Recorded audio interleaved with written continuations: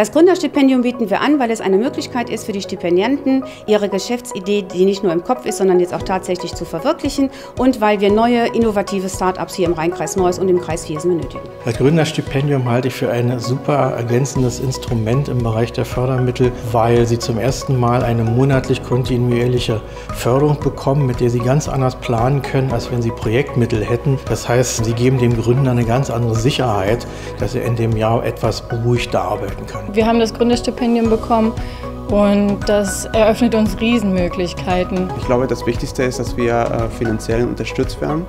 Und das heißt für uns, dass wir Vollzeit äh, in unserem Unternehmen arbeiten dürfen. Und am Anfang des Unternehmens, das ist natürlich sehr wichtig. Ja, das Besondere an dem Gründerstipendium ist das, dass es nicht nur eine Geldleistung ist, sondern dass im Prinzip halt durch den Coach noch rundum begleitet wird.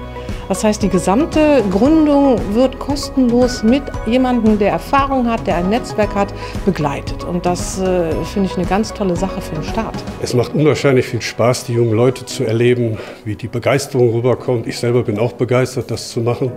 Und es macht einfach unwahrscheinlich viel Spaß zu erleben, wie etwas gegründet wird und wie etwas ins Laufen kommt.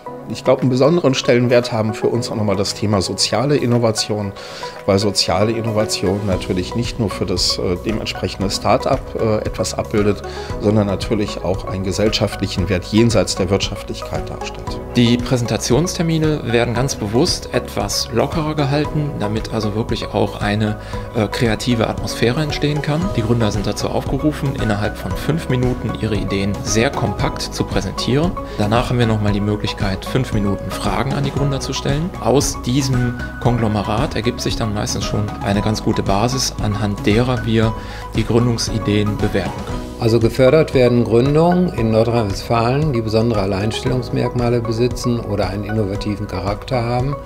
Und diese Alleinstellungsmerkmale äh, müssen neu sein in Bezug auf die Region. Wir müssen den Impuls von Gründern und Ideen von unten, von den Kommunen aus nach oben tragen und äh, die Bündelung auf der Kreisebene halten wir dafür für richtig und je stärker wir uns zusammen in dem Netzwerk aufstellen, desto größer werden wir Wirksamkeit erreichen. Wir haben dadurch viele Startups kennengelernt, viele Unternehmer in der Gegend und das ist für uns sehr wichtig.